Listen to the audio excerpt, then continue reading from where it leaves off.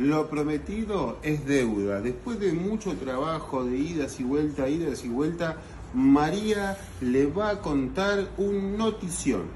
Contale, la verdad que estoy recontenta, loco, lo quiero poner pillo a toda la gente del otro lado, loco, que me convocaron, loco, para el casting de Tineri, loco.